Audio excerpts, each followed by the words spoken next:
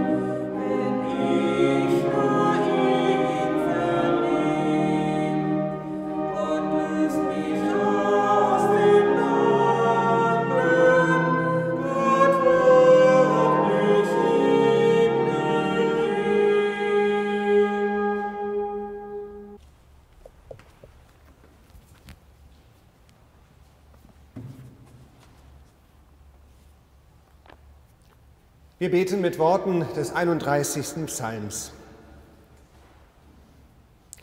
Herr, auf dich traue ich. Lass mich nimmermehr zu Schanden werden. Errette mich durch deine Gerechtigkeit. Neige deine Ohren zu mir, hilf mir eilends. Sei mir ein starker Fels und eine Burg, dass du mir helfest. Denn du bist mein Fels und meine Burg, und um deines Namens willen wollest du mich leiten und führen. Du wollest mich aus dem Netze ziehen, dass sie mir heimlich stellten. Denn du bist meine Stärke. In deine Hände befehle ich meinen Geist. Du hast mich erlöst, Herr, du treuer Gott.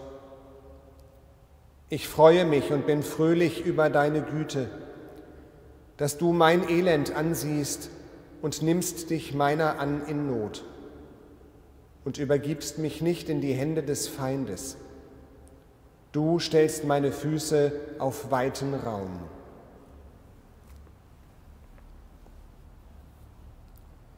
Lieber Herr Jesus Christus, in unseren Gottesdiensten reden und hören wir viel von Gerechtigkeit. Aber im Alltag verstehen wir darunter vor allem etwas, das uns zusteht und wollen nicht so viel davon wissen, dass Gerechtigkeit etwas ist, für das wir uns auch und gerade dort einsetzen sollen, wo es nicht um unsere eigenen Belange geht, sondern um die, die sich nicht wehren können. Du hast uns in deinem Weg durch Leid und Tod gezeigt, was das heißt. Öffne unsere Herzen, dass wir uns mit dir auf den Weg machen, dass unsere Liebe größer werde als unsere Angst, unser Interesse an anderen stärker als die Sorge um uns selbst. Lass dein Wort an uns wirken, weil du willst, dass alle Menschen gerettet werden für Zeit und Ewigkeit. Amen.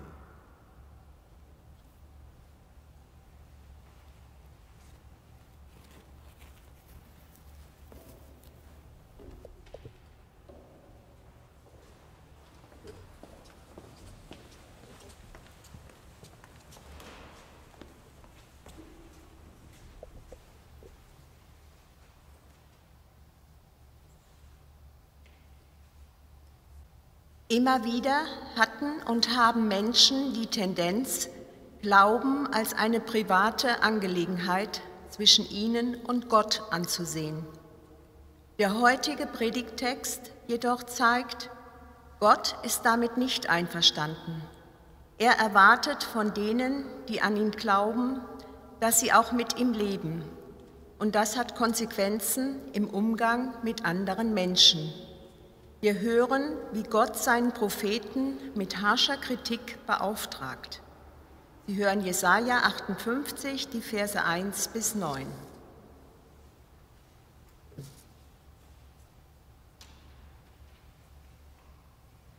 Der Herr sagt, rufe so laut du kannst, lass deine Stimme erschallen wie eine Posaune. Halte meinem Volk, den Nachkommen Jakobs, ihr Unrecht und ihre Verge Vergehen vor. Sie fragen mich Tag für Tag, warum ich sie solche Wege führe. Wie ein Volk, das sich an das Recht hält und meine Gebote folgt, fordern sie von mir, dass ich zu ihrer Rettung eingreife und wünschen sich, dass ich ihnen nahe bin. Was für einen Sinn hat es, jammern sie, dass wir Fastertage abhalten und deinetwegen Entbehrungen auf uns nehmen. Du beachtest es ja gar nicht. Darauf sage ich, der Herr, Seht doch, was ihr an eurer Fasttagen tut. Ihr geht euren Geschäften nach und beutet eure Arbeiter aus. Ihr fastet zwar, aber ihr seid zugleich streitsüchtig und schlagt sofort mit der Faust rein. Darum kann euer Gebet nicht zu mir gelangen. Ist das vielleicht ein Fasttag, wie ich ihn liebe, wenn ihr auf Essen und Trinken verzichtet, euren Kopf hängen lässt und euch, und euch in Sack in die Asche setzt? Nennt ihr das ein Fasten, das mir gefällt? Nein, ein Fasten, wie ich es haben will, sieht anders aus. Löst die Fesseln der Gefangenen, nehmt das drückende Joch von ihrem Hals, gebt den Misshandelten die Freiheit und macht jeder Unterdrückung ein Ende. Landet die Hungernden an euren Tisch, nehmt die Obdachlosen in euer, in euer Haus auf Gebt denen, die in Lumpen herumlaufen, etwas zum Anziehen und helft allen in eurem Volk, die Hilfe brauchen. Dann strahlt euer Glück auf wie die Sonne am Morgen und eure Wunden heilen schnell. Eure guten Taten gehen euch voran und meine Herrlichkeit folgt euch als starker Schutz. Dann werdet ihr zu mir rufen und ich werde euch antworten. Wenn ihr, Hilfe, wenn ihr um Hilfe schreit, werde ich sagen, hier bin ich.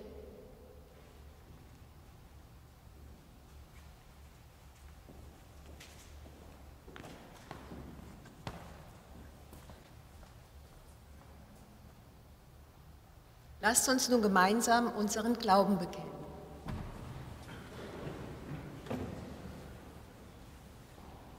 Ich glaube an Gott, den Vater, den Allmächtigen, den Schöpfer des Himmels und der Erde, und an Jesus Christus, seinen eingeborenen Sohn, unseren Herrn, empfangen durch den Heiligen Geist, geboren von der Jungfrau Maria, gelitten unter Pontius Pilatus, gekreuzigt, gestorben und begraben, hinabgestiegen in das Reich des Todes, am dritten Tage auferstanden von den Toten, aufgefahren in den Himmel.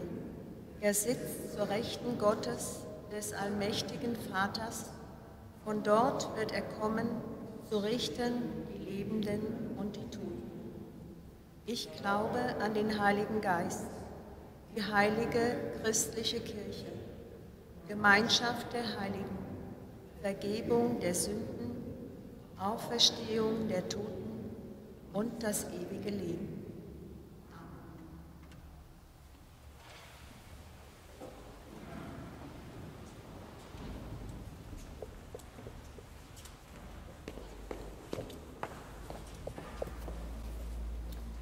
Sie hören das Lied Kommt Kinder, lasst uns gehen.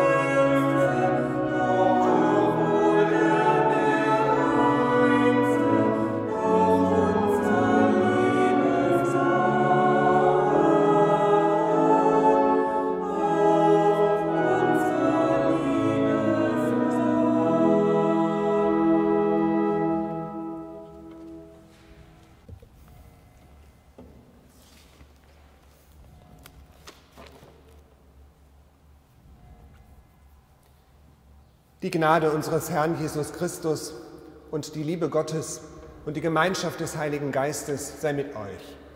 Amen. Liebe Gemeinde, der Glaube kommt am Mitmenschen nicht vorbei. Ob uns das im konkreten Einzelfall passt oder nicht. Glaube hat nicht nur eine vertikale Dimension, sozusagen unseren persönlichen Draht nach oben, sondern der Glaube hat immer auch eine horizontale Dimension. So wie das Kreuz eben auch nicht nur einen Längsbalken hat, sondern eben auch einen Querbalken. Daran kann man das sehr schön verdeutlichen. Die Beziehung zu Gott ist nicht zu haben, ohne dass das Auswirkungen hat auf unsere Beziehungen zu den Mitmenschen. Unser Glaube hat also immer auch eine soziale Dimension. In unserer Gesellschaft wird Glaube weithin als etwas ganz Privates angesehen, was keinen anderen was angeht, so die eigene Spiritualität, das eigene Seelenheil. Da soll jeder nach seiner Fasson selig werden, hat der alte Fritz schon gesagt. Aber Gott lässt keinen Zweifel daran, dass es ihm mit dieser sozialen Dimension des Glaubens ernst ist. Wir haben das vorhin in der Lesung aus Jesaja 58 gehört. Angesprochen war damals die judäische Oberschicht rund 500 Jahre vor Christus. Ist ein paar Tage her, zweieinhalbtausend Jahre so ungefähr, hat aber an Aktualität nichts verloren. Damit Sie es einordnen können, die Situation war ungefähr so, im Jahr 586 vor Christus hatte der babylonische König Nebukadnezar Jerusalem und das umliegende judäische Land erobert und weite Teile der Bevölkerung mit nach Babylon verschleppt. Dort mussten die dann eben dem babylonischen Reich dienen. Wie das mit Weltmächten so ist, die kommen und gehen auch wieder. Nach 50 Jahren übernahmen die Perser die Macht im vorderen Orient und besiegten das babylonische Reich. Und die Juden und Angehörige anderer Völker, die Nebukadnezar auch nach Babylon verschleppt hatte, durften nun unter den Persern wieder zurückgehen in ihre Heimatländer. Aber die persischen Befreier verlangten immens hohe Steuern.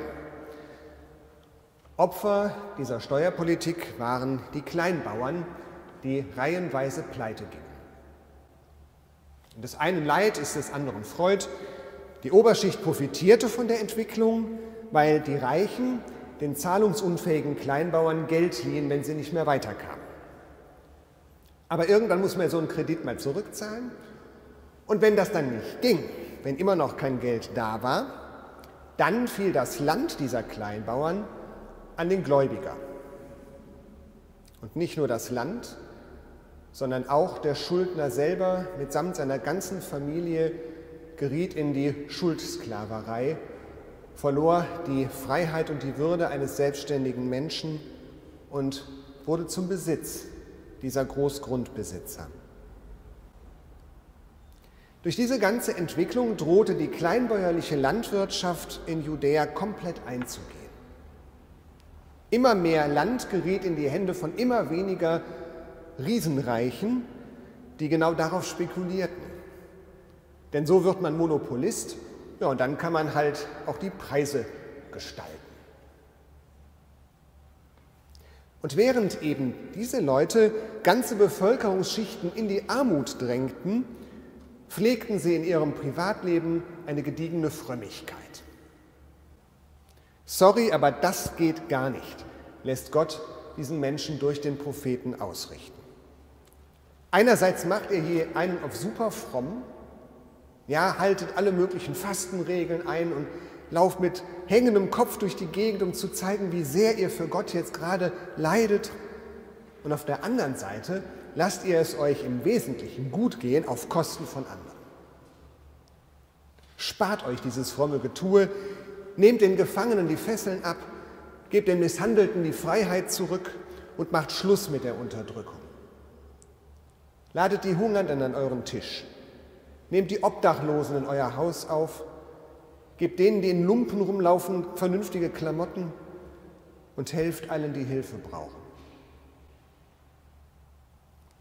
Solidarität, das ist das, was Gott fordert und nicht irgendeine gespielte Frömmigkeit.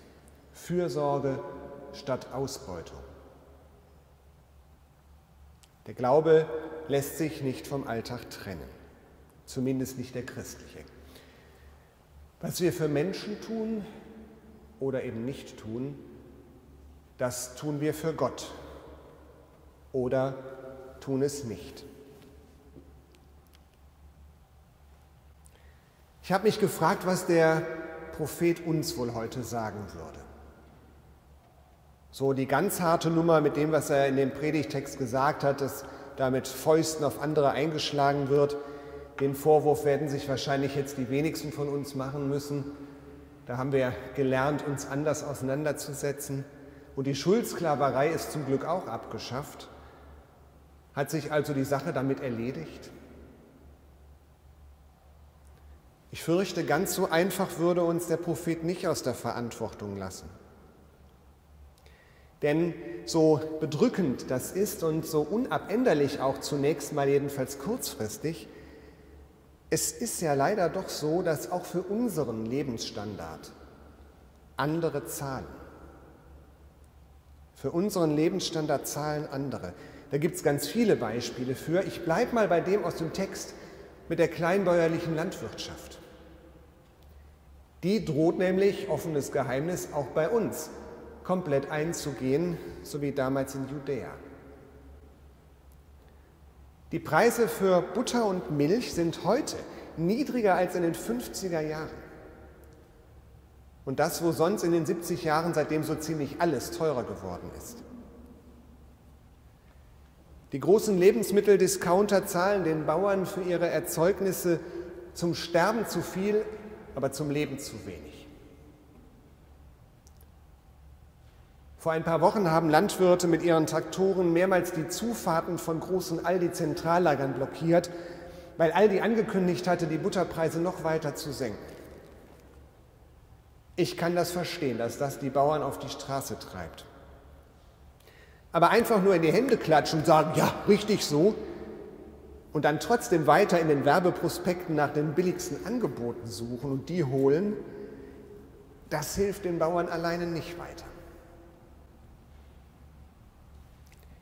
Die Corona-Krise hat letztes Frühjahr noch an einer anderen Stelle diese eklatante Ungerechtigkeit aufgedeckt, die aus unserem billig, billig Konsumieren resultiert, als nämlich die Skandale in den Schlachthöfen plötzlich ans Licht kamen, wo die Mitarbeiter ähnlich zusammengefercht leben wie die Schweine, die sie schlachten. Mit dem Erfolg eben, dass Schlachthöfe zu Corona-Hotspots geworden sind. Wenn das nicht passiert wäre, wüssten wir vielleicht heute noch nicht viel über die Lebensumstände dort. Und das alles eben nur, damit Fleisch mit, zu Dumpingpreisen über die Ladentheke gehen kann. Vielleicht ist das etwas, was uns der Prophet heute ins Stammbuch schreiben würde. Der soll uns sagen würde, ihr Leute, jetzt überlegt mal und verabschiedet euch bitte mal von dieser blöden Geiz ist geil Mentalität. Ja, so geil ist Geiz gar nicht. Wir haben hier in Deutschland die Situation, dass wir im Vergleich zu unseren europäischen Nachbarn den geringsten Anteil unseres Einkommens für Lebensmittel ausgeben. Ja, in allen anderen Ländern geben die Leute einen größeren Anteil von ihrem Einkommen aus für die Nahrung. Das heißt, dass wir im Prinzip für das, was für unser irdisches Dasein ja mit am wichtigsten ist, für unsere Ernährung am wenigsten ausgeben und uns das sehr wenig kosten lassen. Bezahlen tun das andere ja, ausbaden müssen, dass dann eben die Landwirte, die eigentlich für den Preis nicht produzieren können. Gilt übrigens auch für unsere Winzer, die wissen, wovon ich spreche. Wenn die Sachen im Laden billiger sind als das, was man ist, mal investieren muss, um es überhaupt zu produzieren, kann man nicht mehr mithalten. Die AfD beschimpft im Moment die Grünen als die Totengräber der Bauern, weil die Grünen sich eben gegen den Einsatz bestimmter Pflanzenschutzmittel einsetzen. Ob das jetzt so zukunftsweisend ist, den Schutz der Bauern auf der einen Seite auszuspielen gegen den Schutz der Natur auf der anderen Seite und gegen den Artenschutz, das sei mal dahingestellt. Ja, wir haben hier im Viertälergebiet einige Imkerinnen und Imker, die werden mir wahrscheinlich recht geben, wenn ich jetzt sage, ohne Insekten, besonders eben ohne unsere Bienen, wächst auf unseren Feldern und in den Wingerten und an unseren Bäumen irgendwann gar nicht mehr. Nicht der Artenschutz ist das Problem, sondern unser Konsumverhalten. Ja, dass wir sagen, es muss immer alles schön billig sein. Es sind nicht nur die da oben, die irgendwas ändern müssen.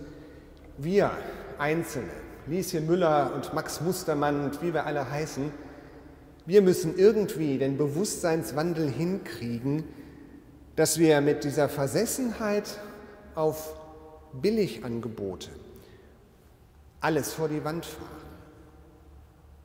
Billig ist eben nicht am besten, zumindest dann nicht, wenn man über den Augenblick mal hinausdenkt. Entzieh dich nicht deinem Fleisch und Blut, sagt der Prophet. Und das heißt nichts anderes als, ihr Leute, ihr lebt auf dieser Erde und darum habt ihr auch Verantwortung für diese Erde und für das, was auf ihr lebt, für alles, was Fleisch und Blut hat. Wenn alle Menschen auf der Erde so leben würden wie wir, dann wäre diese Erde schon längst am Ende. Am Mittwoch beginnt die Passionszeit, die Fastenzeit, die Zeit, in der wir daran denken, was Jesus für uns getan hat. Jesus hat für uns darauf verzichtet, Gott zu sein. Ja, das kann man sich gar nicht oft genug klar machen. Jesus verzichtet darauf, Gott zu sein, um uns ganz nah zu sein.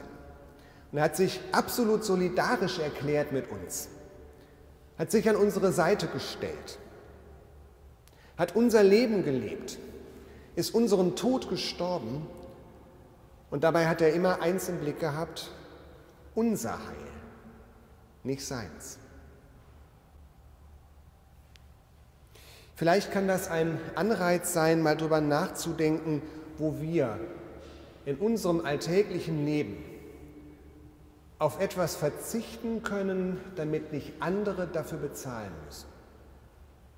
Ja, verzichten auf etwas, damit nicht andere den Preis dafür zahlen müssen. Ich weiß, dass ich bei den meisten von Ihnen damit offene Türen einrenne und Sie ohnehin schon ein Bewusstsein dafür haben. Und trotzdem glaube ich, dass es nie verkehrt ist, sich immer noch mal selber auch zu fragen und zu überprüfen, wo geht vielleicht in dieser Richtung noch mehr. Wo geht noch mehr damit, dass wir weniger verbrauchen, weniger vielleicht tun, mehr nachdenken, eben auf etwas verzichten, damit nicht andere dafür zahlen müssen. Wenn wir diese soziale Dimension unseres Glaubens ernst nehmen, dann, so lässt Gott uns im Predigtext sagen, dann strahlt euer Glück auf wie die Sonne am Morgen. Und eure Wunden, die werden dann heil werden. Gott will ja unser Glück und unser Heil. Und dafür hat er alles gegeben und auf alles verzichtet. Gerade darum können wir dieses Heil, das ja manchmal für uns auch wirklich irdisch schon mit Händen zu greifen ist, nicht an uns reißen und sagen, ist meins. Und was die anderen machen oder haben oder nicht haben, ist mir egal. Das geht nicht. Ja, das Heil kann erst dann so richtig erstrahlen, wenn es in die Breite wirkt. Nicht nur der Draht nach oben schön warm ist, sondern auch der zur Seite. Gebe Gott uns die Kraft, gegen unseren inneren Schweinehund anzugehen und ernst zu nehmen, dass der Glaube am Mitmenschen nicht vorbeikommt. Amen. Und der Friede Gottes, der höher ist als alle Vernunft, der bewahre unsere Herzen und Sinne in Christus Jesus, unserem Herrn. Amen.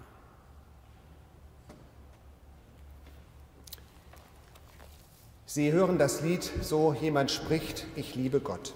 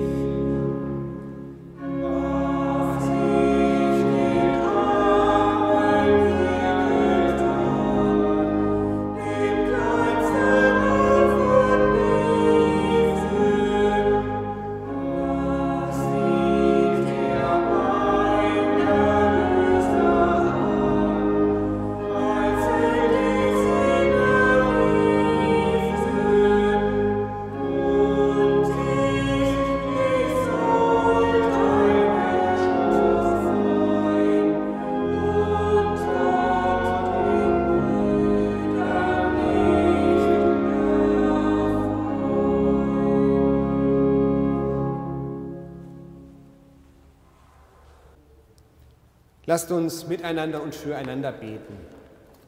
Herr, wir bitten dich für alle, die nicht auf der Sonnenseite des Lebens stehen, für alle Kranken, für die, die kein Dach über dem Kopf haben, die nicht wissen, wie sie heute ihre Kinder satt bekommen sollen, die unter der ungerechten Verteilung der Güter auf dieser Welt leiden.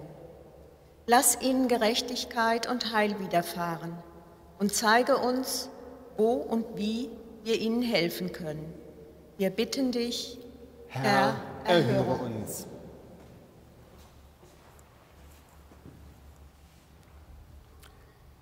Wir bitten dich für unsere Landwirte und Winzer.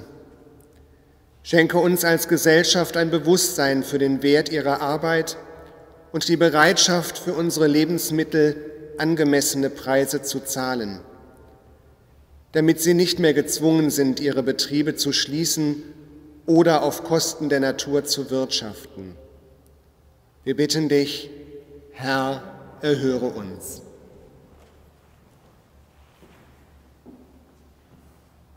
Schenke uns eine größere Bereitschaft zum Verzicht, damit auch unsere Kinder und Enkel noch auf dieser Erde leben können.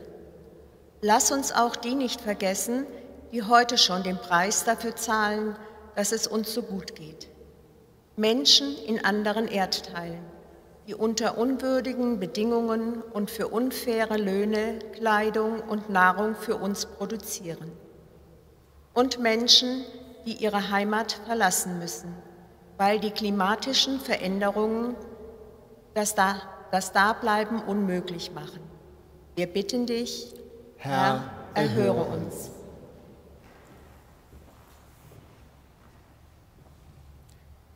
Wir sehnen uns nach einem Ende der Corona-Maßnahmen.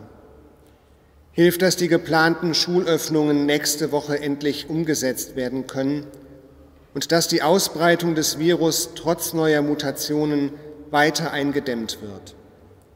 Wir bitten dich, Herr, erhöre uns. Wehre den Despoten und Diktatoren. Schenke den Beteiligten in allen Konflikten die Vernunft und den Willen zum Frieden. Lass alle Menschen in allen Ländern in Frieden, Freiheit und Würde leben. Wir bitten dich, Herr, erhöre, erhöre uns. Im Glauben an deine Verheißung und im Vertrauen darauf, dass du uns hörst, beten wir gemeinsam zu dir. Vater unser im Himmel, geheiligt werde dein Name dein Reich komme, dein Wille geschehe, wie im Himmel, so auf Erden. Unser tägliches Brot gib uns heute und vergib uns unsere Schuld, wie auch wir vergeben unseren Schuldigern. Und führe uns nicht in Versuchung, sondern erlöse uns von dem Bösen. Denn dein ist das Reich und die Kraft und die Herrlichkeit in Ewigkeit. Amen.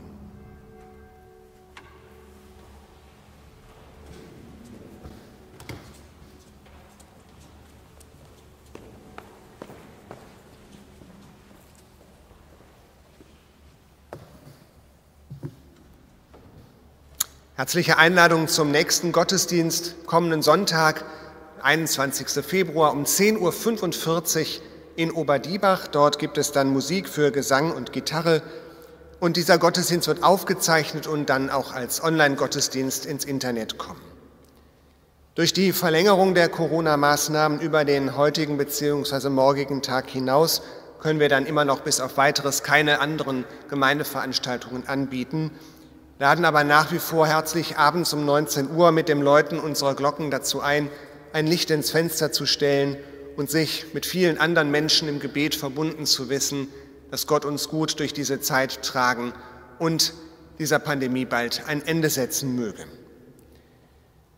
Die Kollekte am Ausgang ist zur Hälfte bestimmt für die Erneuerung der Heizung hier in der Annakirche und die andere Hälfte ist bestimmt für Hilfen für bedürftige Familien. Da geht es konkret um sechs verschiedene Einrichtungen im Bereich hier unserer Rheinischen Landeskirche, die ich Ihnen jetzt nicht alle einzeln vorstellen möchte. Aber alle diese Einrichtungen arbeiten für die Unterstützung von belasteten Familien, von Familien mit Kindern, die unter schwierigen Bedingungen leben und eben auch wirtschaften müssen. Und das passt gut zum Thema des heutigen Sonntags. Gott segne Geber und Gaben. Vielen Dank, liebe Eva Bellendier und liebe Edith Bellendier, für die Lesung in diesem Gottesdienst. Vielen Dank an Susan Kaufmann für die Musik von der Orgel. Sie haben vielleicht gemerkt, dass die Orgel etwas unter der Kälte und Trockenheit leidet. Da gibt es so einen Ton, der bleibt schon mal hängen und macht dann Misstöne, die da eigentlich nicht hingehören. Es liegt nicht an der Organistin. Sie hören jetzt das letzte Lied. Lass uns in deinem Namen, Herr, die nötigen Schritte tun.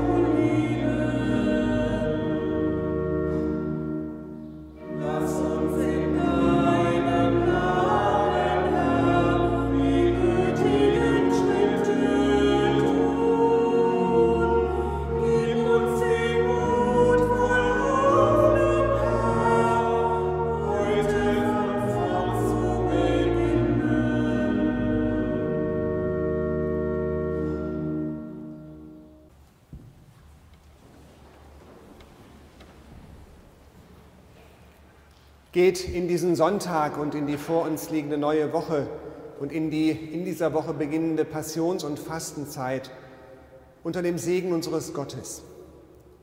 Geht begleitet von diesem Gott, der selbst die Liebe ist, der alles für uns gegeben hat und der uns in das Werk seiner Liebe aktiv mit einbeziehen möchte, weswegen der Glaube am Mitmenschen eben nicht vorbeikommt. Der Herr segne dich und er behüte dich. Der Herr lasse sein Angesicht leuchten über dir und sei dir gnädig.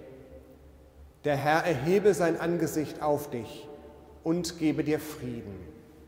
Amen.